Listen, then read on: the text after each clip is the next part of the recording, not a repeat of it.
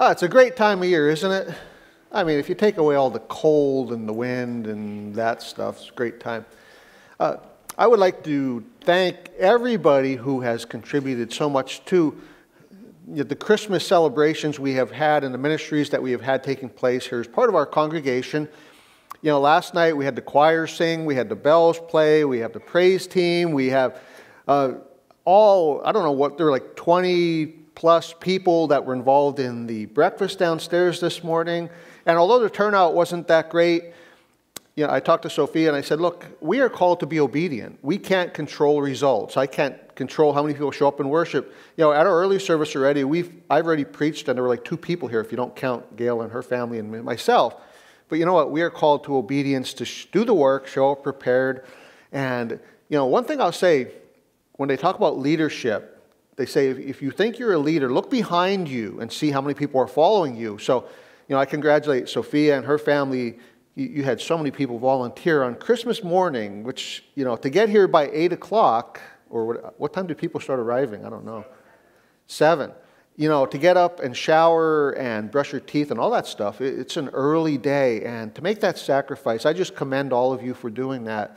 Um, you know, it takes real commitment. It takes faith and it takes a heart for service. So, you know, I commend all of you. And as I look around, most of you have been involved in something, uh, even if it was something I didn't mention. Uh, even Ashley over there, she it's her day to fill the blessing box in Sunday morning, so she was out there. It's funny because she came in and I, we had talked, and she's like, "I guess I better check, check the box." So she had to go out, and I see the wind hitting her. You know, just praise God for doing what you do all year long. You know, a lot of people will serve when it's a, a holiday and not serve or give any other time of year, but you know, just I commend all of you for that because it is Christmas and we want to help people and you know, we want to be a blessing and we are so blessed because we can say Merry Christmas knowing that the most important word is Christ. Merry Christmas. It's about Christ. So praise God and I thank you all for that. So uh, when we look at the birth of Christ, two of the gospel writers recorded something about the birth of Christ, Matthew and Luke, and we're going to look at both of them this morning really quickly. And you, most of you know the story, so I'm not going to dive in and do a deep expository sermon. But in Matthew, uh, Matthew walked with Jesus, knew Jesus, and then recorded the events of Jesus' life in his gospel. Matthew chapter 1, beginning at verse 20, says, Joseph, the son of David, do not be afraid to take Mary home as your wife, because what is conceived in her is from the Holy Spirit. She will give birth to a son, and you are to give him the name Jesus, because he will save his people from their sins. All this took place to fulfill what the Lord had said through the prophet. The virgin will conceive and give birth to a son, and they will call him Emmanuel, which means God with us. When Joseph woke up, he did what the angel of the Lord had commanded him and took Mary home as his wife. But he did not consummate their marriage until she gave birth to a son, and he gave him the name Jesus. So notice Joseph's obedience, and you know, he obeyed God in a difficult time. In their culture, having you're not actually married yet, but having your fiance pregnant would have been a tremendous disgrace and could have been the grounds for death. And Joseph obeyed, not knowing what was going to come of all of this, and he simply obeyed God. And that is what God is looking for from us obedience, to do what we believe is God's will, give it our best, and leave God, you know, leave God work. And, you know, I've been here 14 years now, and we've seen that. When we let God work and we do our end of the work, God does work through that. We see that in the past, we see that in the present, and hopefully we will see that going forward into the future. So the other account is in Luke, and just, um, I know a lot of you heard this last night, and I've been preaching about this through Advent, but in Luke chapter 2, again, this is uh, the birth story of Christ from Luke, who didn't know Jesus. Instead, he wrote as an investigative reporter, as a historian. And I know I'm repeating a lot of things you have heard because not everybody comes every Sunday. So if you wonder, why do I keep saying the same things? Well, that's why uh, because I think certain details are really so important. I, I will talk about them on a regular basis. In those days, Caesar Augustus issued a decree that a census should be taken of the entire Roman world. This was the first census that took place while Quirinius was governor of Syria, and everyone went to their own town to register. So Joseph also went up from the town of Nazareth in Galilee to Judea to Bethlehem, the town of David, because he belonged to the house and line of David. He went there to register with Mary, who was pledged to be married to him and was expecting a child. While they were there, the time came for the baby to be born, and she gave birth to her firstborn, a son. She wrapped him in cloths and placed him in a manger because there was no guest room available for them. And there were shepherds living out in the fields nearby, keeping watch over their flocks at night. An angel of the Lord appeared to them, and the glory of the Lord shone around them, and they were terrified. But the angel said to them, Do not be afraid. I bring you good news that will cause great joy for all the people. Today, in the town of David, a Savior has been born to you. He is the Messiah, the Lord. This will be a sign to you. You will find a baby wrapped in cloths and lying in a manger. Suddenly, a great company of the heavenly host appeared with the angel, praising God and saying, Glory to God in the highest heaven, and on earth peace to those on whom his favor rests. When the angels had left them and gone into heaven, the shepherds said to one another, Let's go to Bethlehem and see this thing that has happened, which the Lord has told us about. So they hurried off and found Mary and Joseph and the baby who was lying in the manger. When they had seen him, they spread the word concerning what they had concerning what they had been told them about this child. And all who heard it were amazed at what the shepherds said to them. But Mary treasured up all these things and pondered them in her heart. The shepherds returned, glorifying and praising God for all the things they had heard and seen, which were just as they had been told. So, we know this story. If you were here last night, we read this last night, and it is just part of the Christmas story. There, there isn't a whole lot written about Christ before he entered his ministry. We see some about his birth and that and you know, some of what happened shortly after when he was like age of 12 we see a little bit about christ but most of the gospels tell what happened about christ during his time of ministry leading eventually to the cross but we gather as a people of god to celebrate what god has done in the past what god is doing currently and what god is going to do so like the breakfast downstairs, it's history now.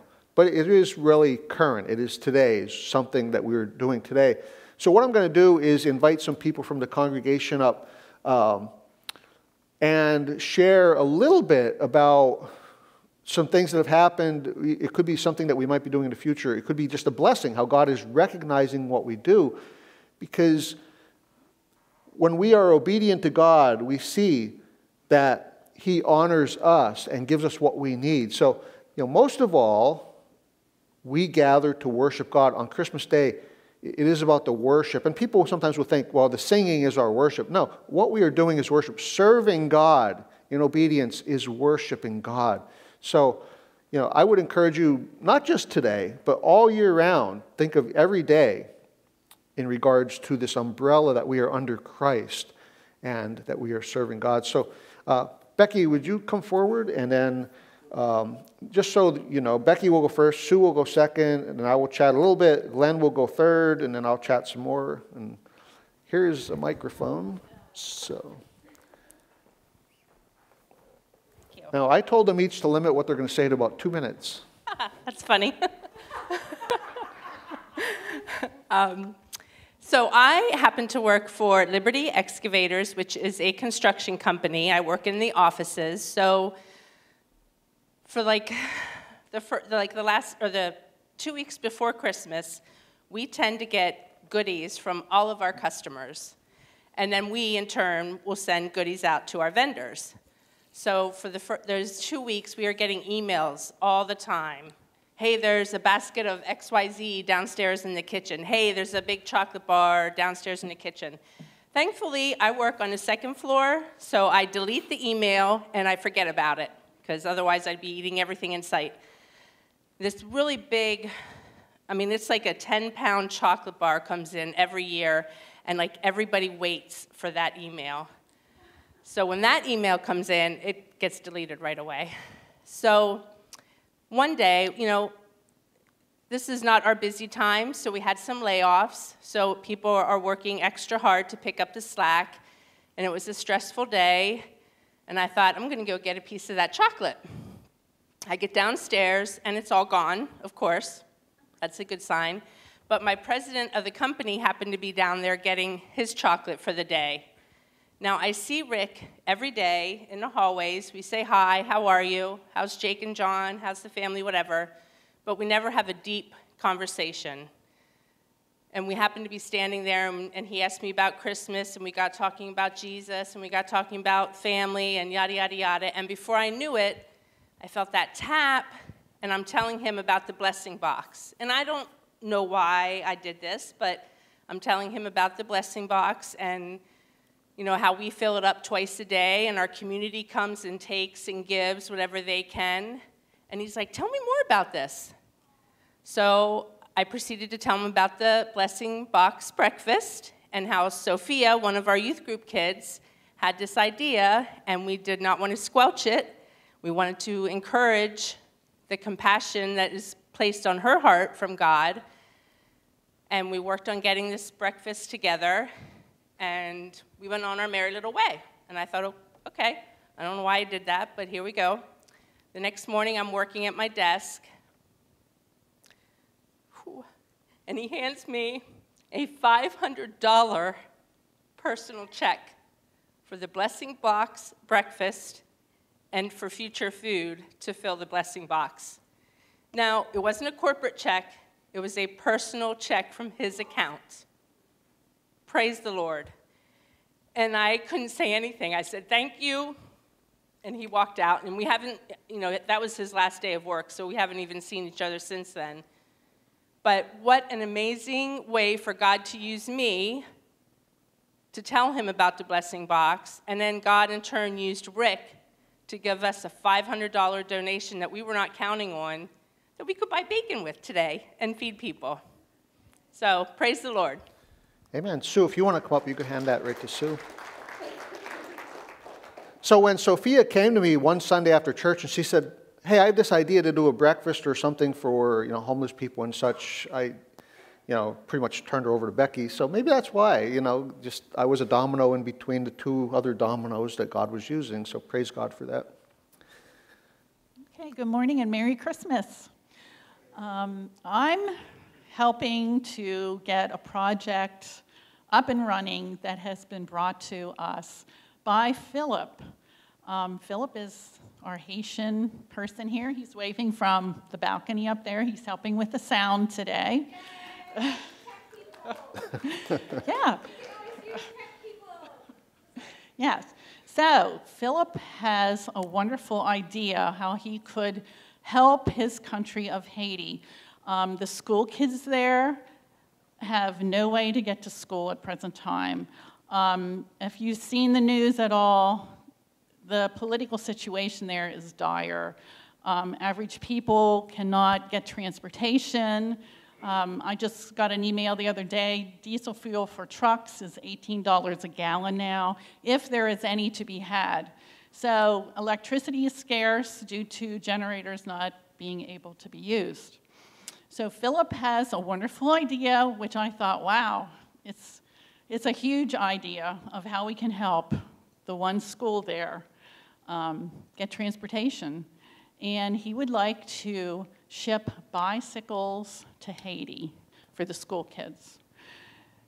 He came up with a number of 150, and we thought, wow, that's a whole lot of bicycles.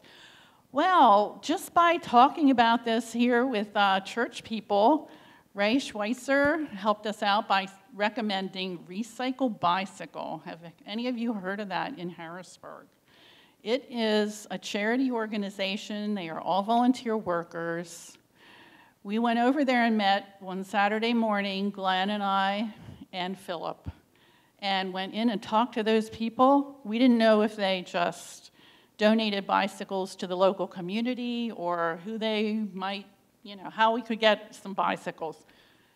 They took us on a tour of that place. They have bicycles of every size and shape. They have tires, they have chains, they have wires. They have any part that you would need to fix a bicycle. They will give us as many bicycles as we can pack to send to Haiti. So we are trying to organize shipping and all those little details that will be involved in this project. So please keep this project in your prayers. We would love to have it happen. Yeah, that bicycles for Haiti, pray about it because it will take an act. Can you imagine what it would take you to get one bicycle from here to Haiti and get it to the person in Haiti that you want it to? It will take an act of God, but we're in that business, so it's a good thing. But we need to be a people of prayer, so pray for that because the need is definitely there. Uh, before Glenn talks, um, you know, I, I, know a lot of you know about this. I sent out an email about it, but you know, we applied for a $5,000 grant to community aid for food, so we could buy food for the blessing box and for study buddies and some other things primarily. And they came back, at, and we were turned down the last two or three years for community aid grants. So this year they got, I got the email, and they said we're going to give you $7,500, 50% more than we asked for. So it's just one of those things. If, if we are paying attention to God and doing what God wants us to do, God will provide what we need. And I was thinking, what a blessing it was last night. You know, we had visitors and guests and people come back. We didn't have to mention money, giving, passing offering plates at all. We have offering boxes out, and you, the people of this church, support us enough that we don't have to really worry and be concerned about how we're going to pay the bills. So uh, that is a real pleasure in ministry to not have to focus on, man, how we're going to pay the bills and that type of thing. So um, God is giving us what we need. So praise God. And He is using you to provide for the things that we need. So Glenn has something, it's really new, and probably a lot of you don't know about what he's going to talk about. So, uh, in fact, I'm not sure what he's going to say.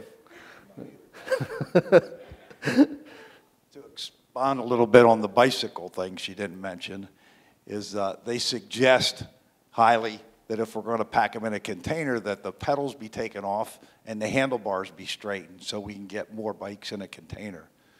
So that means we're going to need lots of help to take off pedals off of 150 bikes in a short time. So keep that on your uh, schedule somewhere, even though we don't know exactly when that's going to happen. But, but uh, just keep that in mind as, uh, as we go along here. Now, me. Um, Charlie approached me before with the reorganization of our board and so on and so forth and asked me if I would serve with the uh, Christian Education Commission and be kind of in charge of discipleship. And uh, I guess I kind of hesitated a little bit, but he twisted my arm, so, so I'm doing it. Um, I've checked in some things, and it's going to involve all of you, hopefully. Um, we're looking for people to help us go out in the community, like the Bethesda Mission, to go help in an evening and serve meals. It's only, it's a short time, maybe two hours. Um, and we're also looking at uh, Turning Point Church of God has a uh, Feed My Starving Children. It's a humongous event. It, uh, it's March 16, 17, 18. It's a Thursday, Friday, Saturday. They get uh, they're looking for like 1,400 volunteers to make up food meals to be shipped. Uh, so we'll have that as well. We'll be looking for people to go. I, uh, I'm not sure quite how to handle it yet. You know, I know Thursday and Friday is, is a work day for most people. Um, but we would aim, I guess, for that Saturday. And if we had some retired people that wanted to go up on a Thursday or Friday, we could do that as well. Um, so keep in mind, you'll probably be receiving an email in not too long. Um, we can't make any reservations or get really final notice on times or any of that kind of stuff until, until early March, or February, excuse me. It's six weeks before the event. But, uh, but if we get a list of names that are people are interested, then we can go from there, you know, and and see how many we can get to take up as a crew up there. Um, I've also started uh, myself personally working for New Hope Ministries one day a week, and uh, there might be some opportunities there for us as well to volunteer. So we're just getting started, we're just getting organized, but hopefully those will be the things that we can do in the, in the future with my discipleship. So thank you. Yeah, so I, I call what he's doing active discipleship. Discipleship is a really big word that nobody can ever actually figure out exactly what it means. And it's kind of like understanding the Trinity. When you think understand, it changes. You're the last one. Um, yeah, could you just put the mic on there? So, yeah, there are a lot of opportunities. You know, Sandy's one of Sandy's daughters is the director of the new Redland New Hope Ministries, and if we had committed people, they are only open on Wednesdays at this point because of a lack of volunteers. We could staff it to be open another day. I think it takes four people twice, you know, morning and an afternoon shift to open for one more day, but it would have to be a commitment. Uh, you know, there is a, a, group that feeds homeless people in Harrisburg. Missy went and volunteered. April Ocasio uh, leads that, and you can go sign up online. You know, you could take people to that. There, there are a lot of ideas. It's a matter you know, the Holy Spirit letting Glenn and the church know what we should be doing and going out to, because a lot of these things, I think a lot of you are willing to do, you're just not sure how to do it, and you don't want to necessarily go and do it alone. Uh, there's, you know, so to help eliminate some of that apprehension, um, to share the burden, but also to share that glory and that uh, serving together is a good thing. Um, the final thing that I'm going to talk about is I had put a post on Facebook because with the economy and the expense of everything, we started seeing a lot more requests, people coming to the church, people calling the church, needing help, you know, basic help. And they're not, most aren't asking for anything elaborate. It's, you know, food, clothing, uh, somebody had their electricity shut off, um, you know, shelter. You know, we, we don't do a whole lot of motel room stays, but, you know, there are a lot of requests for that. Um, and I put the, this message on Facebook just talking about the need, and the guy sent me a personal message saying, Hey, I'd like to donate $500. So he stopped in the church here, and he isn't part of our congregation. I hope to get him here sometime. Uh, but he brought a check for $500. Somebody else said, Hey, I, I, got this coat that was my dad's.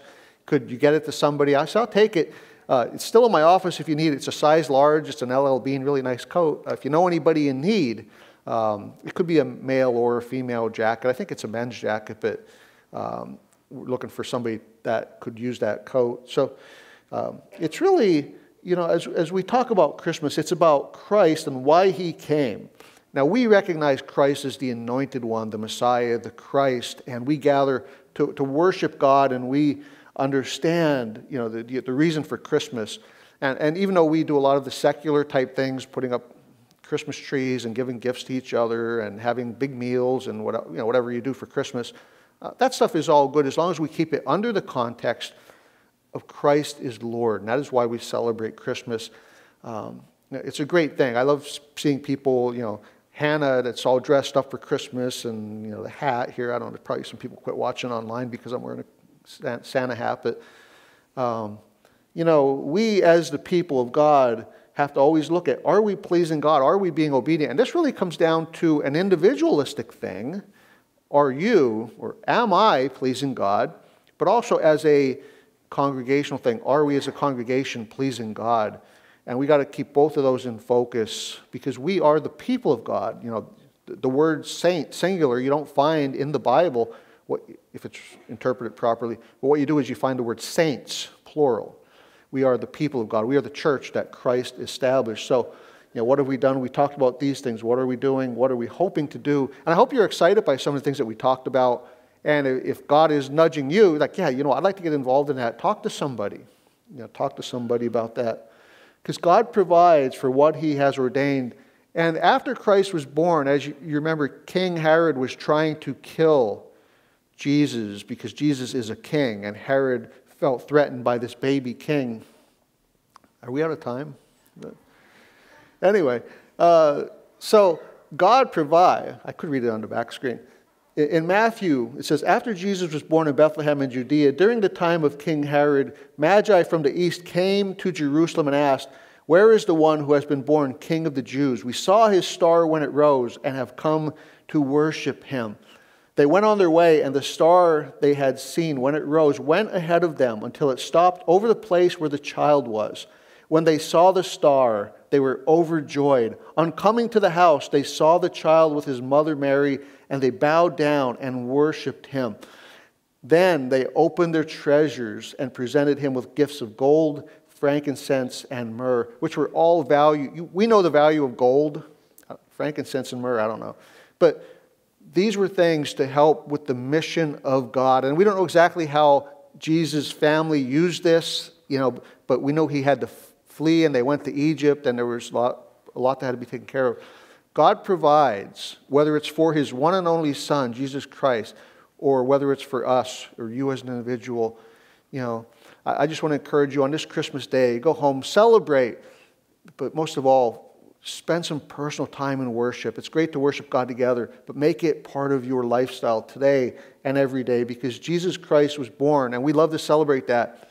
But he was born because he came here on a mission to reconcile sinners just like you and me to a holy God. And he accomplished his mission. And at the end of his mission, he told us, his church, to go and make disciples. So that's what we are trying to do.